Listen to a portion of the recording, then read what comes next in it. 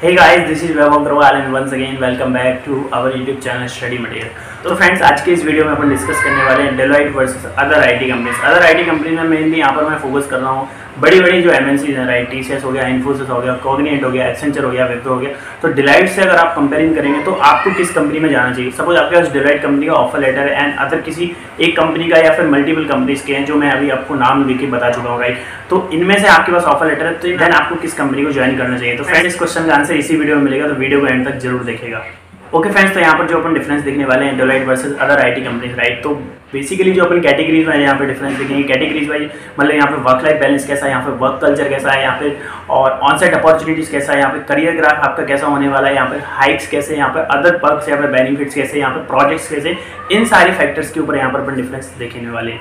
Okay friends तो सबसे पहले अपन बात करते हैं, जब डिलाइट डिलाइट की बात करेंगे तो बहुत बड़ा ब्रांड है राइट बिग फोर कंपनीज़ में आता है। माना कि अदर जो कंपनीज़ है लाइक हो गया T C S Wipro Infosys Cognizant Accenture इनके भी बहुत बड़े बड़े नाम है, लेकिन डेलाइट एक बहुत बड़ा ब्रांड है, एक अपने आप में right Deloitte big four companies में आता है। तो यहाँ से अगर आप कंपेरिजन करेंगे ब्रांड वाइज तो आपको डिलाइट जाना चाहिए। अगर सेकंड कंपेरिजन अपन करेंगे, आप क्वालिटी प्रोजेक्ट्स प्रोजेक्ट्स की बात करेंगे तो मैं आपको ऑलरेडी बता चुका हूँ। अगर आप बिग एम में जाते हैं like T C Infosys other I T companies हो गए डेलाइट के अलावा जो मैंने अभी आपको नाम बताया तो इनमें जो प्रोजेक्ट्स रहते हैं डेवलपमेंट के, वो रहते हैं पंद्रह से बीस परसेंट, दस से पंद्रह परसेंट, बीस परसेंट, यही रहता है डेवलपमेंट प्रोजेक्ट बाकी तर जो प्रोजेक्ट्स रहते हैं, यहाँ पर रहते हैं सपोर्ट के टेस्टिंग के, या सर्विस ना हो मतलब किसी भी फ़ील्ड में आपको पटक सकते हैं राइट तो डेवलपमेंट प्रोजेक्ट्स यहाँ पर मिलने के बहुत कम चांसेस रहेंगे। अगर आप डिलाइट की बात करेंगे तो डिलाइट में आपको ज़्यादातर डेवलपमेंट प्रोजेक्ट्स ही मिलेंगे। तो अगर आप डिलाइट ज्वाइन करते हैं कंपेरियन टू अदर कंपनीज़ तो आपको क्वालिटी प्रोजेक्ट्स के ऊपर काम करने मिलेगा और डेवलपमेंट का काम मिलने वाला है। तो यहाँ के फ्रेंड्स तो इसी से रिलेटेड है थर्ड पॉइंट जैसे मैंने आपको बताया कि प्रोजेक्ट अगर आप बाइक करेंगे तो क्वालिटी प्रोजेक्ट्स आपको डिलाइट में मिलेंगे। तो प्रोजेक्ट अगर आपके अच्छे रहेंगे तो आपकी लर्निंग अच्छी होने वाली है राइट तो लर्निंग आपकी अच्छी रहेगी तो आपका करियर ग्राफ भी ऊपर जाने वाला है। तो यहाँ से दोनों पॉइंट अगर आप देखेंगे, दोनों फैक्टर लर्निंग यहाँ पर कैसी है मतलब डिलाइट में और अदर कंपनीज़ में। तो लर्निंग वाइज आपको डिलाइट ही जाना चाहिए तो लर्निंग आपकी यहाँ पर अच्छी, क्यों अच्छी है? क्योंकि क्वालिटी प्रोजेक्ट्स है। आपकी क्वालिटी प्रोजेक्ट्स हैं क्वालिटी प्रोजेक्ट पे आप काम करेंगे डेवलपमेंट का काम करेंगे, आपकी लर्निंग अच्छी रहेगी तो आपका करियर ग्राफ भी अच्छा होने वाला है।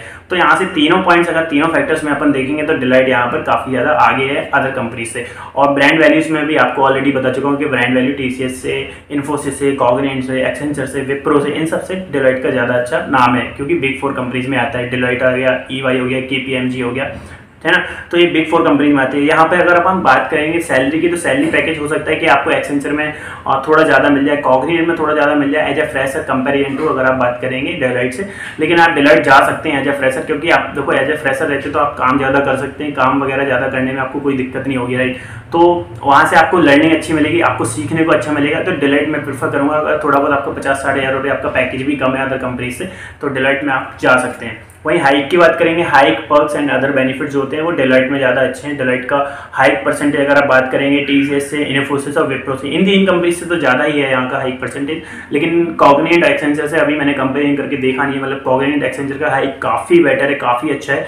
तो और डिलाइट का हाइक भी काफ़ी अच्छा है। लेकिन तीनों में मैंने अभी कंपेरिजन नहीं किया हाइक वाइज लेकिन अगर आप टी सी एस इन्फोसिस और विप्रो से आप कंपेरिजन करेंगे डिलाइट का हाइक का तो डिलाइट का हाइक काफ़ी अच्छा है इन तीनों कंपनी से। ओके फ्रेंड्स यहाँ पर बात कर लेते हैं करियर ग्राफ में आपको ऑलरेडी बताया हूँ वर्क कल्चर की बात करें तो वर्क कल्चर डिलाइट का बहुत अच्छा है। वर्क इन्वायरमेंट बहुत ही अच्छा है डिलाइट का। अदर आईटी कंपनीज़ का भी शानदार है तो वर्क कल्चर में वर्क इन्वायरमेंट में आप कंपेरिजन करेंगे सभी आईटी कंपनी तो मैं फिफ्टी फिफ्टी यहाँ पे रेट करूँगा। वहीं पर अगर आप, और टी वगैरह से आप TCS और कॉग्रेंट वगैरह का वर्क कल्चर आप देखेंगे तो डिलाइट से काफ़ी अच्छा है।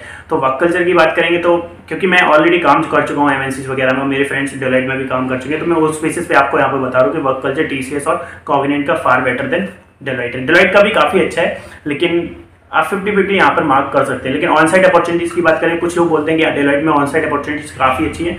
हैं, लेकिन इतनी ज़्यादा नहीं है कि जितनी ज़्यादा इन्फोसिस और टीसीएस आपको ऑन साइड अपॉर्चुनिटीज़ देती है T C S and Infosys में बहुत सारी on side opportunities comparison to Deloitte लेकिन डिलाइट में अगर आप बात करेंगे तो विप्रो एक्सेंचर और इनसे अगर आप बात करेंगे तो इनसे ऑन साइड अपॉर्चुनिटीज़ ज़्यादा है, लेकिन अगर आप बात करेंगे Infosys and T C S तो इन्फोसिस और टी सी एस से ऑन साइड अपॉर्चुनिटी डिलाइट में कम है। तो फ्रेंड्स यहाँ पर मैंने सारे फैक्टर्स के बेसिस पे आपको यहाँ पर डिफरेंस बता दिया है कि आपको डिलाइट जाना चाहिए या इन्फोसिस या फिर T C S Accenture Wipro तो ये फाइनल डिसीज़न आपका ही होना चाहिए, लेकिन आप मेरे पॉइंट ऑफ़ व्यू से पूछेंगे कि अगर आपके पास अदर आई टी कंपनीज़ का ऑफ़र है और डिलाइट का है तो आपको कहाँ पर जाना चाहिए? तो मेरे अकॉर्डिंग आपको डिलाइट जाना चाहिए फॉर हंड्रेड परसेंट श्योर तो Deloitte is far better than अगर आप ओवरऑल कंपेरिजन करेंगे, क्योंकि यार मेनली होता है आपका प्रोजेक्ट रहता है, आपकी लर्निंग रहती है, आपका करियर ग्राफ रहता है स्टार्टिंग में आपकी जब आप इनिशियल फ़ेज़ में रहते हैं, आप एज ए फ्रेशर आप काम करते हैं तो प्रोजेक्ट वाइज ज़्यादा अच्छी है, यहाँ पे डिलाइट में आपको ऑलरेडी बता चुका हूँ हाइक भी है पर्क्स भी है बेनिफिट्स भी है। तो सब कुछ अच्छा है, थोड़ा बहुत ऑन साइड अपॉर्चुनिटी से आपको कॉम्प्रोमाइज करना पड़ेगा, मैं आपको ऑलरेडी बता चुका हूँ राइट तो फ्रेंड्स आज की वीडियो में बस इतना ही। आई होप आपको ये वीडियो पसंद आया होगा तो वीडियो को लाइक करें शेयर करें। और फ्रेंड्स आपके कोई डाउट है तो please write down in the comment section and I will try to answer those question thank you